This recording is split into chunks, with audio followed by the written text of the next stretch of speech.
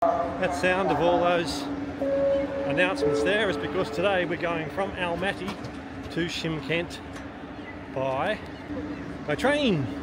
Welcome to Kazakhstan. Thank you. Welcome to Kazakhstan. and that noise there is Travel Cat Felix. And uh, we got quite a story to go with Travel Cat, but uh, we'll save that for later.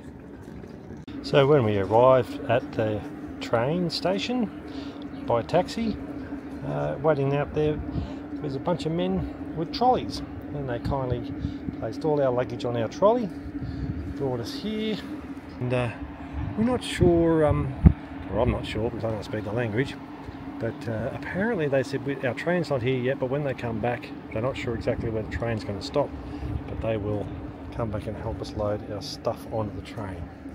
So this is a platform. This is Almaty 2 train station.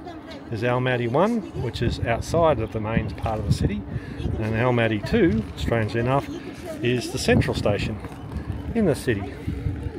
Now, we had, um, yeah, we had issues trying to uh, buy our tickets online because we were trying to figure out what it was we we're actually purchasing, and now my wife speaks fluent Russian, and um, but unfortunately the website just doesn't cut it really.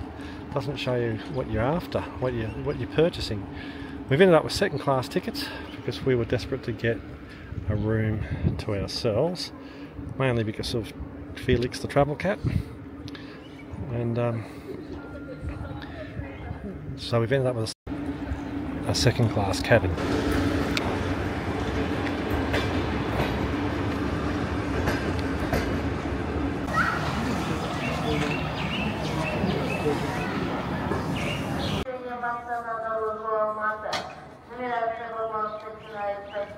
As you can see, in order to go from one platform to the other, one has to walk across the railway line.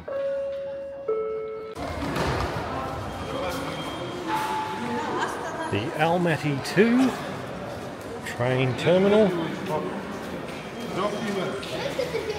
All marbly. Lots of seating. It's hard to move around because it's quite busy with people. Seating for when you're waiting.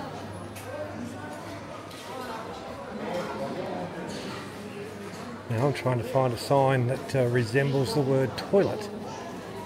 They didn't come prepared with tenge in hand in case I have to pay, which is commonplace here.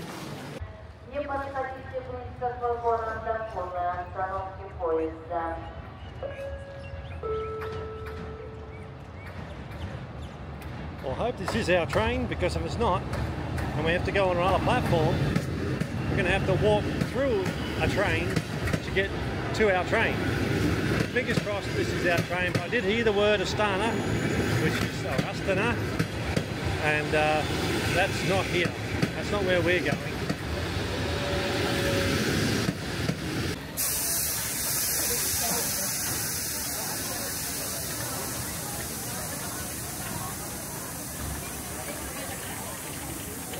And we're lucky we've got our trolley, gentlemen, because without them, we wouldn't understand where we had to go to catch a train. And also, we wouldn't be able to get all our bags across all these railway lines.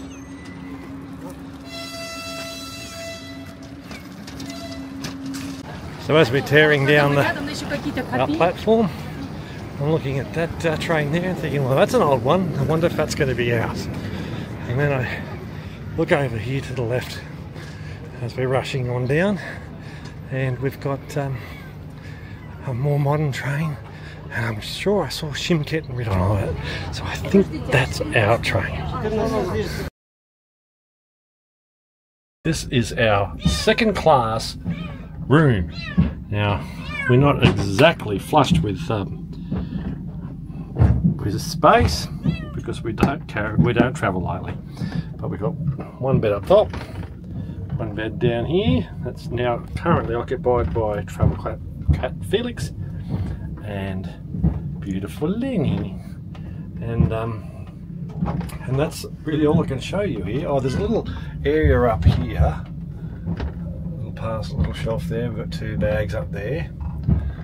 And that's really all we've got. Now, the reason we got this small second class cabin is because it's the only way we could get a setup that was just for the two of us. Otherwise, we'd be in with four people.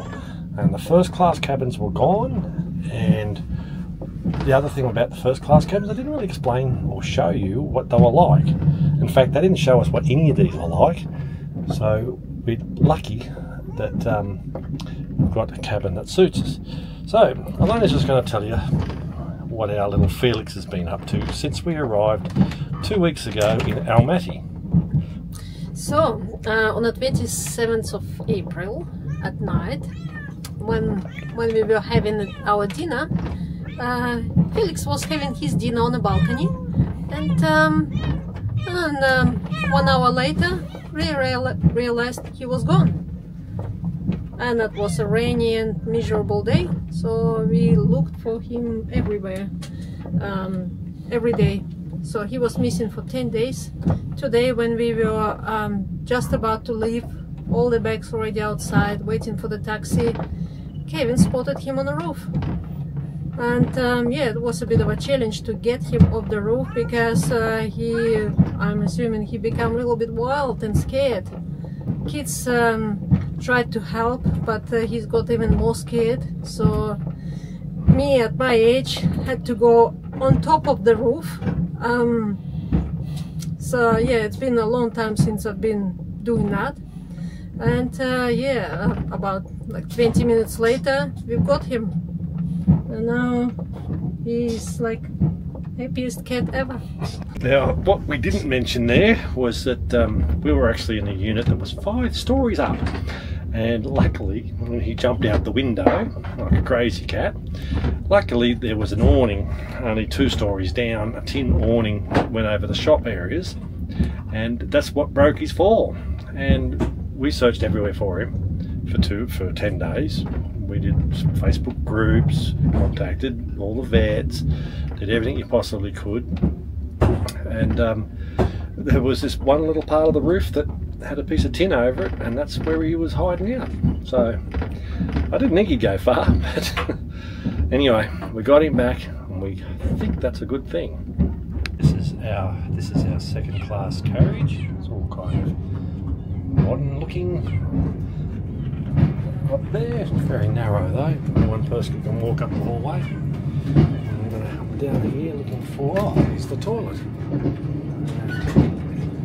Is that a toilet? This is a washroom. Okay. So that's where you wash your hands. Looks clean enough, functional enough. I think I heard a noise in the toilet.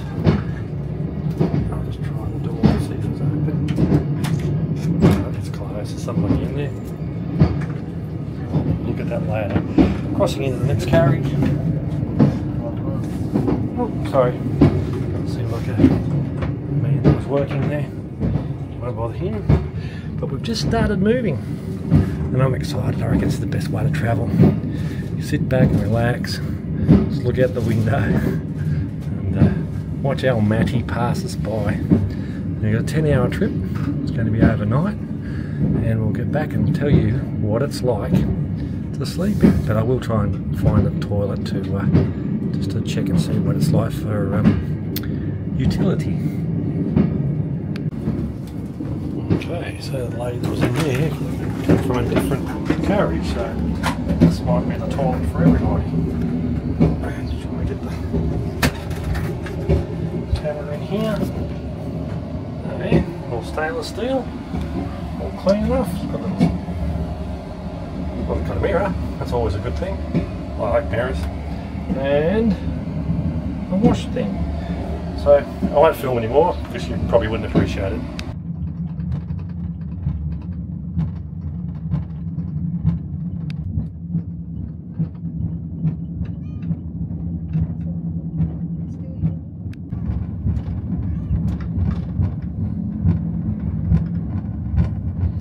as the sun goes down Kazakhstan plains. And this is Shymkent at sunrise.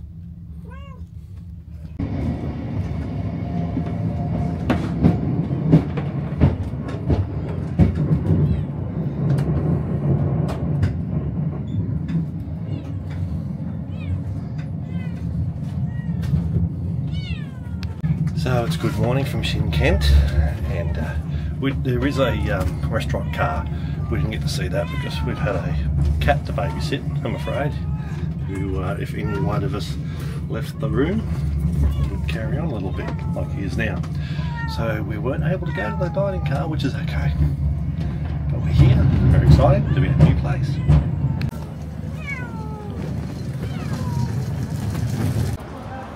So here we are, we made it to Shymkent. Not an easy feat. That's our luggage. we carry quite a bit of luggage. So we've got another story that we're going to tell. Uh, the reason we just dragged all that luggage here and we've just refused three cab rides even though we need a cab, um, Elena will explain when we finally get to our, our accommodation. Which is a rental unit that doesn't know we got a cat because we didn't have a cat when we booked it. now we do. Okay, so we've been here for three hours. Uh, we've made some new friends. А вот это Har kamera вот, was. вот что там. Мода, I да? have no idea how we А, made а this что, new friend. Так нельзя, да? Что там? Вот посмотри. Ну. Вот его But посмотри. um, we Ну, probably ему can't так video right нравится. now because of our new friends. ему А так усы нравится. что? Well, they are a little bit odd. They will come and just sit down beside you or sit on your lap. If you look over there, that's our cat in that bag. And we're sitting there and old mate just come and pop himself down and say a word. Perfectly normal. That's just the way it is. They're very friendly. very Yeah. friendly. Uh, it's not like there's nowhere else for him to go.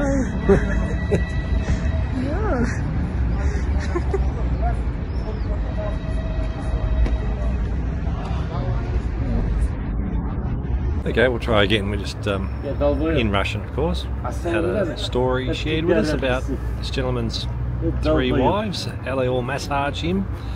And my one wife said, "What if they all start whinging at once?" And he said, "Not a po- not a possible because they all live in separate places." But anyway, we've been here for three hours.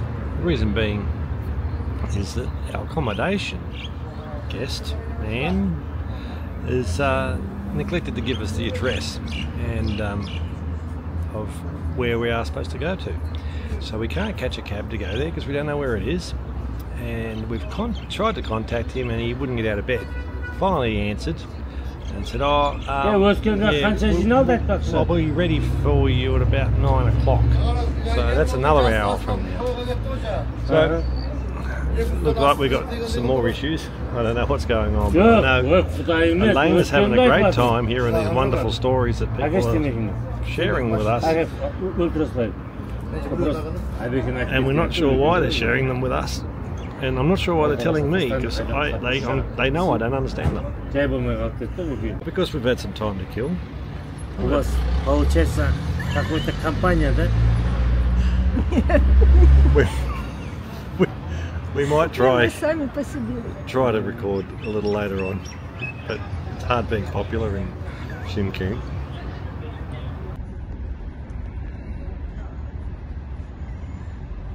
Okay, so I should explain that our friend that's come down, almost sat on my lap beside us, who is drawing his friends to us, telling us all kinds of stories um, almost got in a fist fight with a, another man not five minutes ago.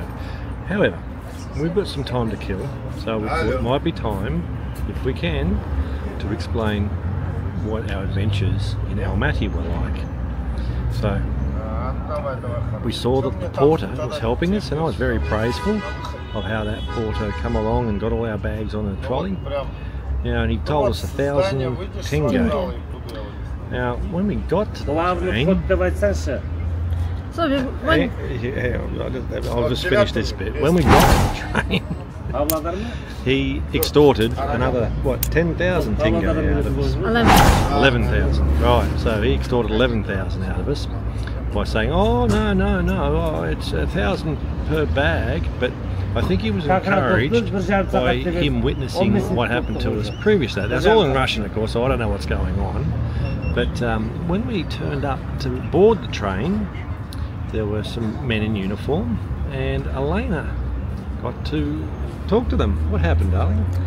So, first of all, he asked if we have any documentation for the cat. Uh, yes, we do. So I showed him um, the paperwork. Uh, he was um, okay with that, but still said, "Oh, well, the cats are not allowed." And um, and then he said, "Do you know that uh, one single person is only allowed for a one large uh, suitcase?" I said, uh, no, actually, I wasn't told th- that information when I booked the tickets. He said, um, well, yes, that's the thing. I said, uh, does it, uh, you know, do we have that information written somewhere? Uh, that's on your uh, train ticket. Where? Uh, it's a small fine print. I couldn't really see anything because that was that small that um, without a uh, large uh, magnification glass you won't be able to see anything. So when we get to our apartment I'll have a look at it closely. So meanwhile he said um, you've got one option to send the remaining of your bags as a transfer to that city. I said well how, how about we'll just negotiate and uh, we'll take all our bags with us. He said, how much can you give me? I said, how about 1,000? And he laughed at me. I said, look, uh, we, are from another country. We don't know the price in in Almaty. We don't know the cost of bribes, really, we? Um, so he said, 15. I said, well, I don't have that much. Uh, how about five? Oh, no, no, not, not a thing. So we negotiated down, you know, up to 10,000. And I was just about to take the money out, and he said, no, no, not here, because we were sti still standing outside of the um, carriage. Um, so as soon as we got in, he said, um, he took me into the very cozy, small spot in the corridor. He said, right now. So I gave him 10,000 and he was happy about it. Yeah. So apparently your bags and your cat um, are not a problem, provided you uh, negotiate the correct um, fee, shall we should speak. So yeah, so that's a little bit of a thing that you need to expect if you do travel from um, uh, Almaty to Shymkent. And uh, I mean, Elena's from Kyrgyzstan, which is a neighbouring country. She's been telling me this for years that uh, you've got to expect um, corruption all over the place. But that's the first time it's happened twice, right in front of my eyes. And um, yeah, it's going to take a little bit of getting used to, especially with my background. It's not really. Um, it's sort of the sort of thing that I've been fighting against my entire adult life. Um, but anyway, that's So- that's the culture. So anyway, um, it's very advisable for you um, to carry some extra cash in case you encounter a situation like that, and uh, make sure you um, keep in mind your total cost for the travel. If you have uh, a few extra bags, so for instance, our travel cost us uh, 24,500 tenge, plus we paid uh, 21,000 tenge in bribes. So that's It's the almost bribes- it's almost yes. double basically. Yeah. I really don't believe that the bags or the cat had anything to do with anything. I think it might have been our ethnic look and the fact that we were there ready to put everything on board and we really had no choice yet to go along with it because otherwise we would still be on the platform. Help us grow, like, share, and subscribe.